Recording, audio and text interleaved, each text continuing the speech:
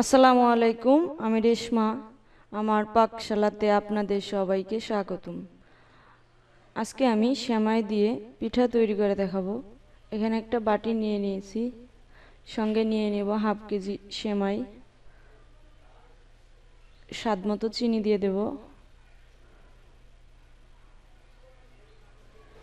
কোরানো নারকেল দিয়ে দেব এক কাপ।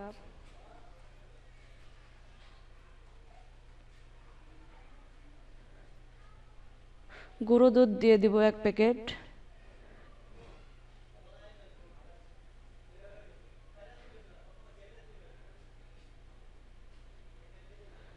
এখন এটাকে ভালোভাবে মাখিয়ে নেব।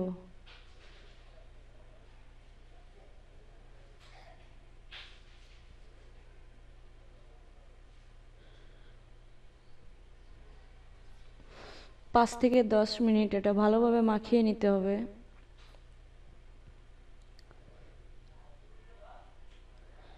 এখন সঙ্গে দিয়ে দেব একটি ডিম।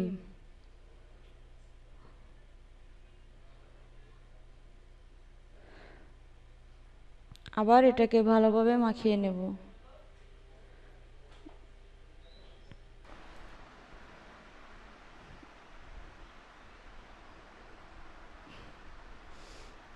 দেখতেই পাচ্ছেন অনেকটা নরম হয়ে গেছে। এরকম সাইজের একটা কৌটার মুখ নিয়ে নেব। এর ভেতরে অল্প অল্প করে চাপ দিয়ে বসিয়ে নেব। বিস্কুটের শেপ করে নিতে হবে। আপনি চাইলে এর থেকে মোটাও করতে পারবেন এবং পাতলাও করতে পারবেন। এভাবে আমি সবগুলো বানিয়ে নেব।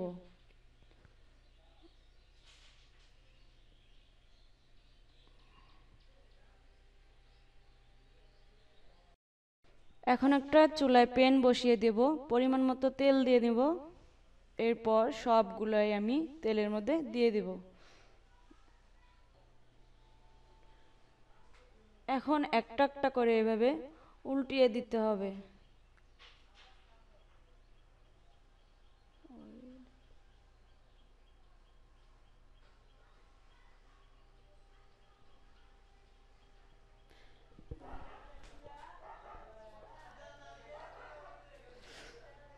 এভাবে আমি সবগুলো উল্টিয়ে দেব।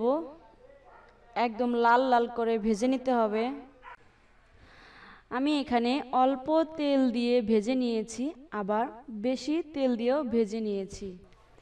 কিন্তু বেশি তেলে ভাজলে পিঠা অনেক সুন্দর হয়। এভাবে আমি সবগুলোই ভেজে নেব।